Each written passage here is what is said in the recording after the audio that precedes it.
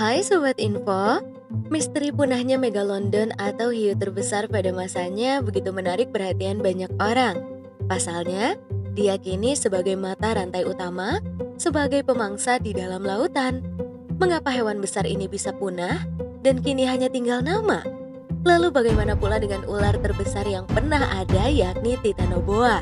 Pernahkah kalian membayangkan apa yang akan terjadi jika mereka bertemu? Nah, kalau kalian penasaran, langsung aja yuk simak informasinya di video kali ini. Tapi sebelum lanjut, jangan lupa untuk klik tombol like, subscribe, dan juga lonceng notifikasinya ya guys, agar kamu gak ketinggalan video terbaru dari kami. Simak pembahasannya sampai akhir. Well guys, nah selain Megalodon yang namanya masih hits dibicarakan banyak orang, ternyata ada pula loh Titanoboa si ular raksasa yang juga menduduki mata rantai utama pada zamannya. Meski tak hidup di waktu yang sama, namun mari kita berandai-andai nih guys. Jika kedua makhluk raksasa ini masih hidup dan bertarung, kira-kira siapa yang akan menang? So, let's see. Nah, langkah pertama, mari kita membandingkan fisiknya sebagai penentu pemenang. Megalodon diperkirakan memiliki panjang hingga 16 meter dengan bobot maksimum 48 ton. Ternyata, ukuran tubuhnya sebanding dengan Roadmaster, bus dua tingkat berwarna merah yang menjadi ciri khas kota London. Sementara Titanoboa memiliki panjang 15 meter dengan bobot mencapai 1,1 ton saja. Nah, usut punya usut nih guys, Ternyata, fisiknya yang melebihi ukuran ular biasa didapatkan dari iklim lembab Kolombia sekitar 60 juta tahun yang lalu. Jadi jika membandingkan fisik, tentu Megalodon juaranya. Skornya masih 1-0 ya. Nah, yang kedua, mari kita membandingkan soal kecepatan.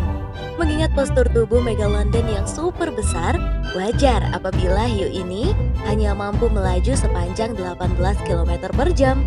Kecepatan tersebut jelas tergolong lambat karena artinya Megalodon hanya mampu melaju sepanjang 5 meter per detik.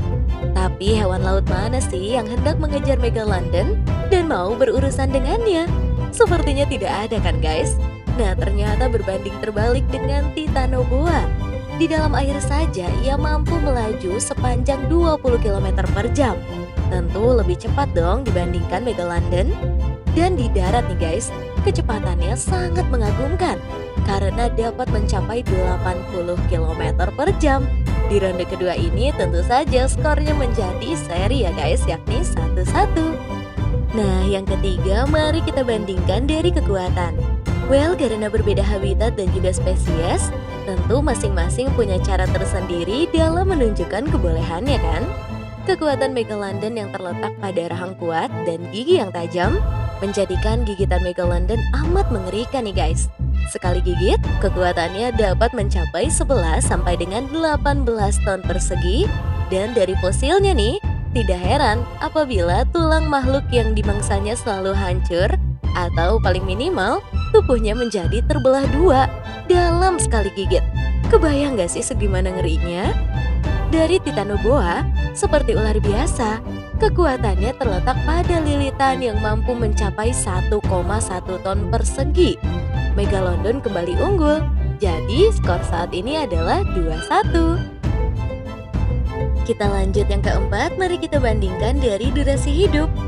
Megalodon diperkirakan hidup pada rentang waktu Miosen awal hingga Pliosen akhir alias 23 sampai dengan 2,3 juta tahun yang lalu. Artinya nih guys, Megalodon sempat menguasai rantai makanan di lautan dari laut dalam hingga perairan dangkal selama kurang lebih 20 juta tahun. Nah, dilihat dari fosil yang ditemukan, Megalodon mampu hidup dalam suhu 1 sampai dengan 24 derajat Celcius. Sedangkan Titanoboa hanya sempat hidup selama 2 juta tahun saja pada masa Paleosen dari rentang 60 sampai dengan 58 juta tahun lalu. Kepunahannya dinilai karena ketidakmampuan Titanoboa beradaptasi dengan kehidupan di masa Paleosen yang masih belum stabil. Jadi, jika membandingkan durasi hidup yang berbeda jauh, tentu saja Mega London kembali unggul dengan skor 3-1. Lalu mari kita lanjut masuk ke pertarungan. Jelas akan terjadi di laut ya guys, karena Mega London tidak mungkin naik ke darat. Ya meski Titanoboa unggul dalam kecepatan, Mega London jelas memiliki keuntungan lebih dengan sirip dan rahang yang kuat yang dimilikinya. Mega London dimungkinkan bisa melepaskan diri dari lilitan Titanoboa jadi, pilihan paling tepat bagi Titanoboa saat bertemu Mega London adalah kabur secepat yang dia mampu. Sebab jika bersikeras berani melawan, Mega London bisa membawa Titanoboa ke laut dalam dan menyantapnya di sana. Nah, kalaupun pertarungan terjadi di habitat Titanoboa yang lebih sering hidup di rawa, sebenarnya tidak terlalu masalah loh bagi Mega London yang bisa hidup di suhu air 1-24 derajat Celcius. Karena berada di kandang, Titanoboa jelas lebih punya nyali loh untuk menyerang lebih dahulu. Namun yang meski lilitan Titanoboa kuat, tidak akan berpengaruh juga sih untuk Megalodon yang hanya perlu menunggu Titanoboa lelah melilitnya. Jadi, simulasi pertarungan Megalodon versus Titanoboa telak dimenangkan si penguasa lautan yakni Megalodon. So, itu dia guys, informasi seputar kemungkinan pertarungan antara Mega London versus Titanoboa. Jadi gimana menurut kamu guys? Apakah menarik? So, tulis pendapatmu di kolom komentar ya. Terima kasih telah menyaksikan informasi dari kami, semoga bermanfaat. Jangan lupa juga untuk share ke teman dan keluarga kamu, agar bersama kita menambah wawasan dengan berbagi informasi bermanfaat. Sampai jumpa lagi di video selanjutnya. Bye!